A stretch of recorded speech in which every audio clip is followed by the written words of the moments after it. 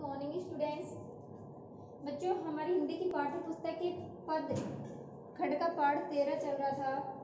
चंद्र गहना से लौटती बेर कविता चल रही थी। चंद्र गहना से लौटते वक्त, कवि केदारनाथ जी द्वारा रचित एक कविता है। इनका जन्म सन 1911 ईस्वी में और मृत्यु 1900 सॉरी 2000 ईस्वी में हुई थी। कविता की जो पंक्ति है, कविता में कवि ने चंद्र गहना से लौटते वक्त रास्ते में जो खेत दिखाई देते हैं, उन खेतों में उगी हुई फ़सल का वर्णन किया है। कवि ने उन फ़सलों का वर्णन करते हुए उन पौधों का मानवीकरण किया है। एक बहुत ही सुंदर रूप से इस कविता को कवि ने प्रस्तुत किया है। एक मनुष्य के रूप में उन पौधों को समझाने का वर्णन किया है। कविता की पंक्तियाँ हैं, पास ही मिलकर उगे हैं, बीच में अलसी हठीली देह की पतली कमर की है लचीली। नीले नीले फूले फूल को सिर पर चढ़ाकर कर रही है। जो छुए यह, दो हृदय का दान है उसको।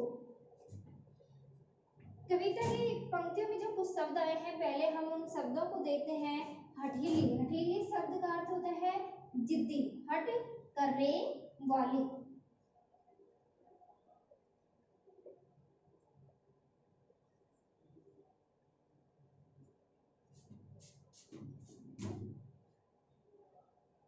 यहाँ पे दे दे का अर्थ हो जाएगा शरीर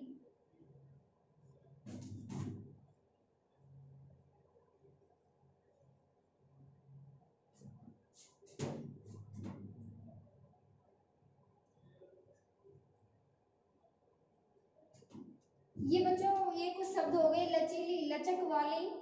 अब कवि अलसी के पौधे का वर्णन करते हुए कहते हैं कि अलसी का जो पौधा है वह बहुत ही जिद्दी है और अपने जिद्दी स्वभाव के कारण हट पूर्वक उसने चने के पौधों के बीच में अपनी जगह बना ली है। कवि ने अलसी के पौधे को क्या कहा है? हटीली, जिद्दी, ये एक विशेषण है।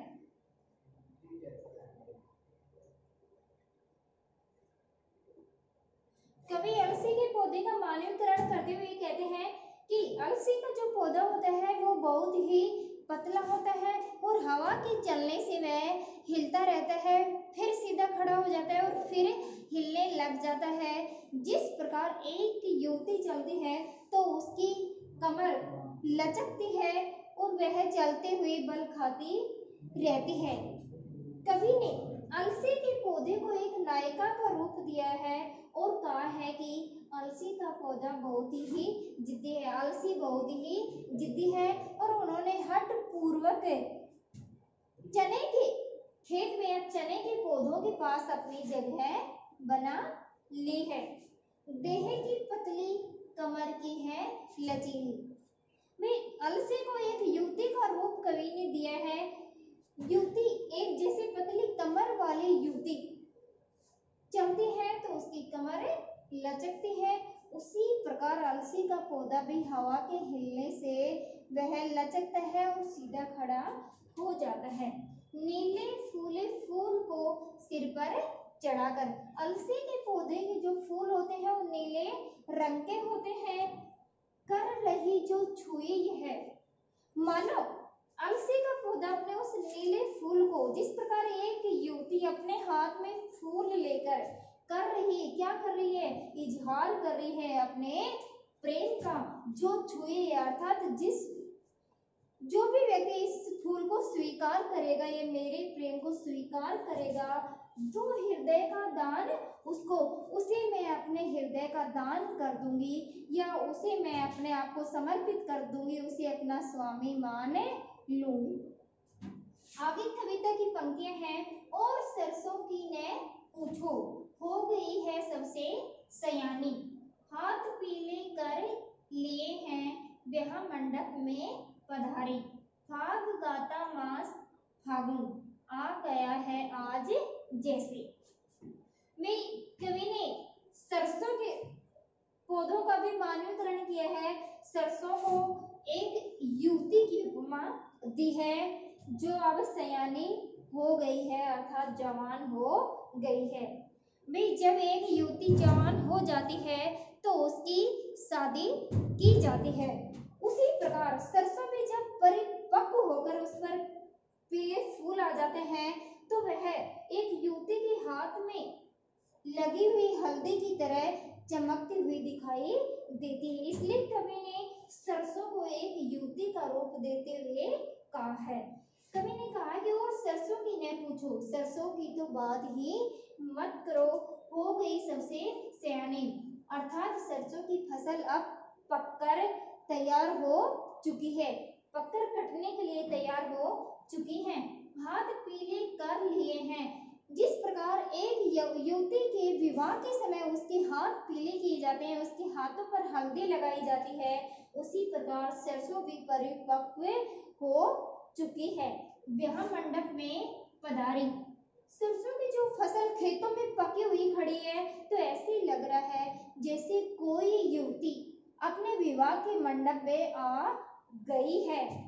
और जब कोई युवती विवाह के मंडप में आती है तो उसका विवाह संपन्न कर होके वह अपने पिहर से, अपने मायके से ससुराल चली जाती है। उसी प्रकार भी सरसों की फ़सल परिपक्व हो गई है तो उसे किसान काटकर खेतों से, उसके माय के रूपी खेतों से और उसके ससुराल रूपी अर्थात किसान उसे अपने घर ले जाने के लिए तैयार हो जाता है। सरसों की फ़सल किस महीने में पकती है, सभी जानते हैं, यहाँ पे दिया भी गया है बच्चों। फाग गाता मास फागुन फागुन मास में जब होली आती है, होली के त्योहार के समय सरसों की कटाई होती रहती है और ऐसा लग रहा है कि उस फाल्गुन के महीने में वह महीना खुद ही फाग गाता हुआ आज आ गया है।